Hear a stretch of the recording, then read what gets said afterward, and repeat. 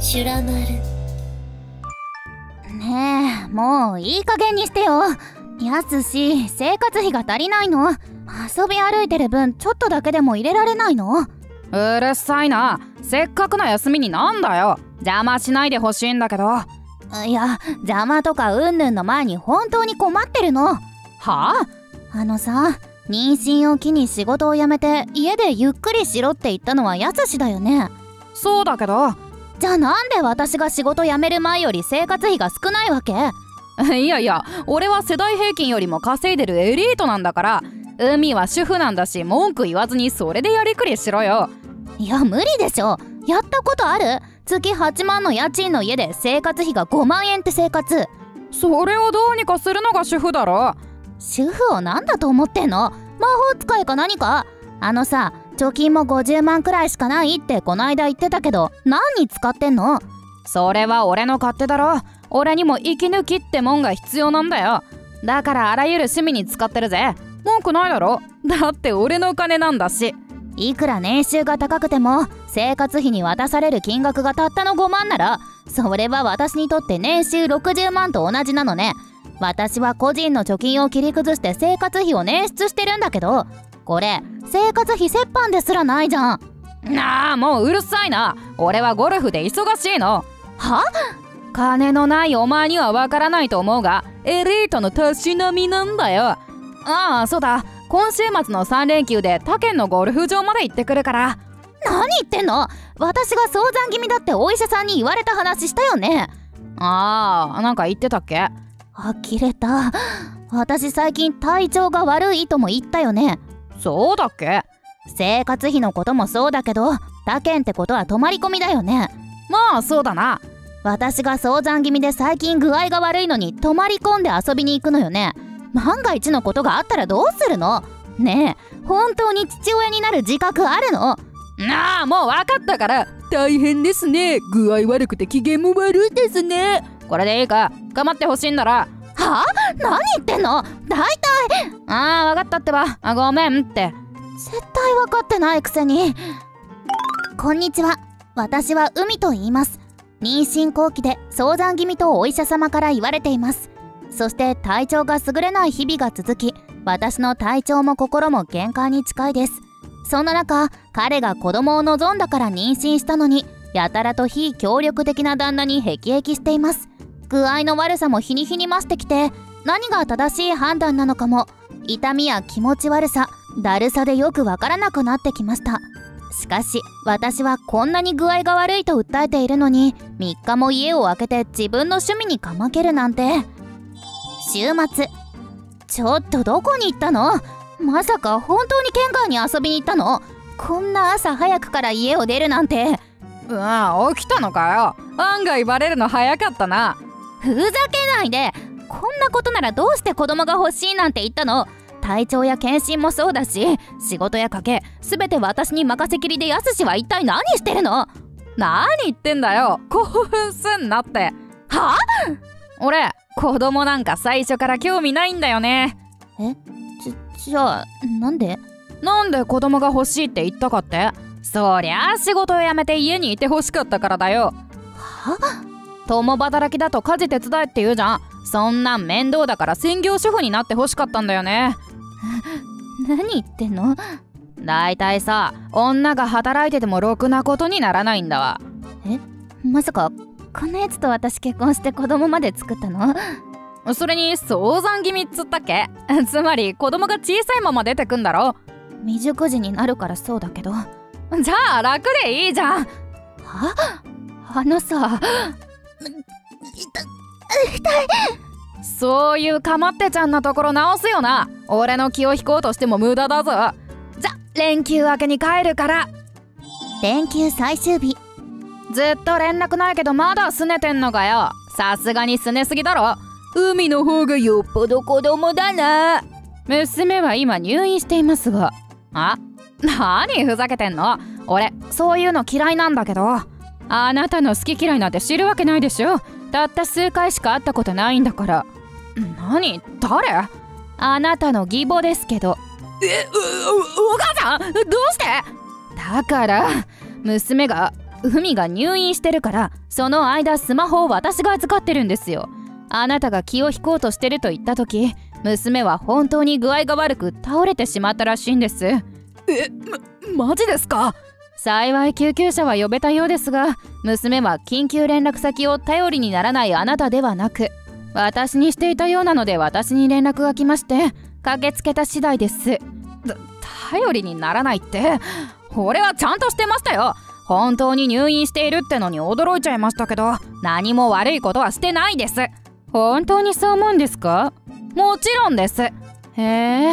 娘が倒れたのも早産気味なのも全部あなたがかけたストレスが関係しているようですが。は一応母子ともに無事ですがあなたは妻と子供が無事かどうかすら聞かないんですね。あえっと別に無理して心配するふりをしなくてもいいですよ。いやでも。でもこれで十分分かりました。何を？このままじゃあなたに大事な娘と孫が殺されてしまう。俺そんなことしないですよ。実際殺しかけましたよね。今あなたの妻がいるのはどこですか？病院ですよね。違うんですか？それは。娘は今私たちが駆けつけたことに安心したのか泥のように眠っているところです。あなたの元では安心して眠ることすらできなかったんでしょうね。わわかりません。わからない？ああ娘のことをまともに見てなかったんだからわからなくて当然ですね娘はストレスと体の辛さで正常な判断ができていないかもしれません。私たちに頼ることすら忘れていたんだから。いいですか？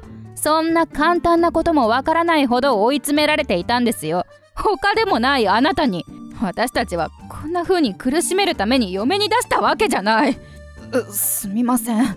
何ですか？その謝罪は。自分の身重の妻が具合が悪いって言っているのに。かまってちゃん扱いで家にろくに金も入れず自分は泊まり込みで趣味を満喫だなんて。いいご身分ですね。頭をどこかで強打してきたんですか？いやだからすみませんって。それで許されるとでも思ってるんですか？離婚一択ですよ。離婚？当たり前でしょ。このまま結婚生活続けるつもりですか？だって本人の意思が。そうそう。運ばれてきた時何を握りしめていたと思います？え？